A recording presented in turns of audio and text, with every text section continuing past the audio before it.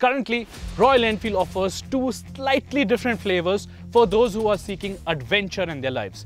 You get the icon, the Royal Enfield Himalayan, and its younger sibling, the Scram 411, which as we found out at the end of our first ride, should have been called the Himalayan Light.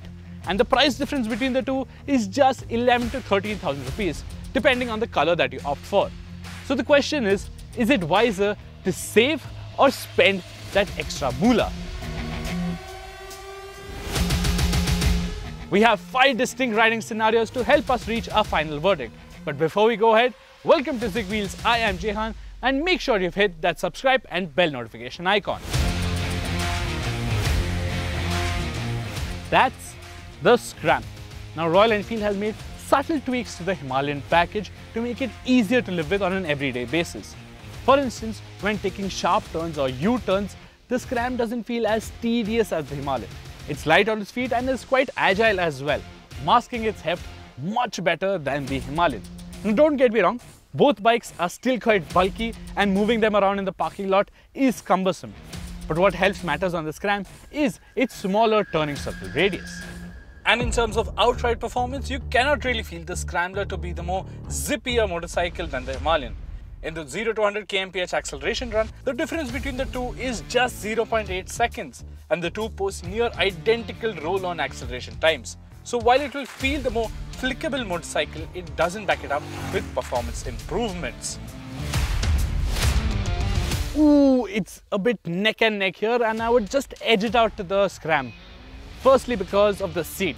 It is long and spacious and the foam used is thick and firm which is ideal for spending long hours in the saddle. Also, Royal Enfield has improved the engine refinement of the 411cc mill.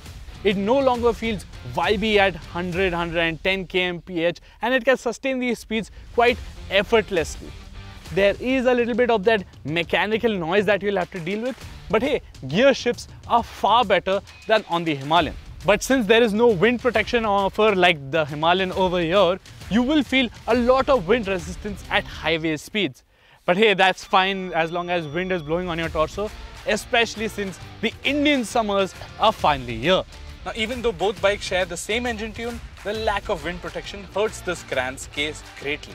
It is almost 5 kmpl less fuel efficient than the Himalayan in a highway test. However, its city zippiness helps it deliver a better score of 38.23 kmpl. 6 kmpl better than its adventure sibling. In isolation, the Scram feels quite nice when riding two up. The suspension doesn't wallow either with the added weight, and that's boon while cornering. However, majority of the pillion riders will prefer the Himalayan because the seat is slightly longer.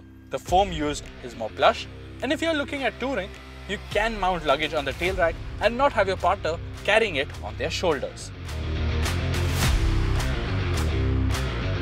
Oh, that's definitely the Scram because the steering isn't as lazy, direction changes don't require as much effort and they are quick and you can really push the bike hard into the corners. And even when you do so, you can carry a lot of speed and the bike remains quite composed, unlike the Himalayan, which feels a little floaty.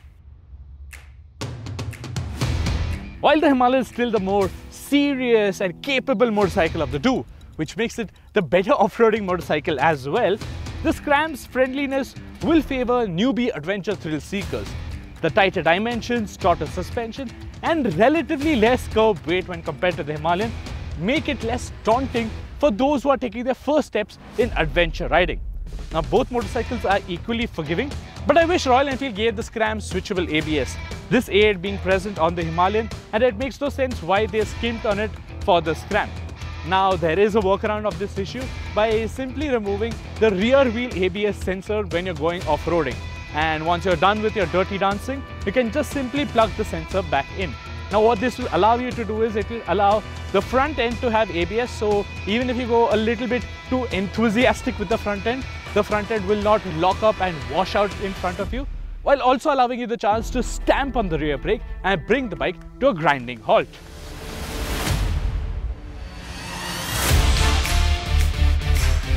So, save or spend? Well, how about both? Confused, right? Well, what we would ideally do is we would save and get the Scram And from the money that we save, that is around 11 or 12,000 rupees, we would get the triple pod, which is around 5,000 rupees. Uh, get this wider accessories bar from the GMA catalog, that's around 3,500 rupees. And then get some luggage mounting solution, which should also be around 3,500, 4,000 rupees. And if my maths is right, hmm, you come up to that same 11 or 12,000 rupees. So you are spending that much more. But by doing that, you're making the Scram a great all-rounding machine. Heck, that's what we would do. What would you do? Let us know your thoughts in the comments below. Don't forget to hit the like, share and subscribe buttons. Also stay notified to Wheels because the next video featuring the Scram is going to be a spicy one.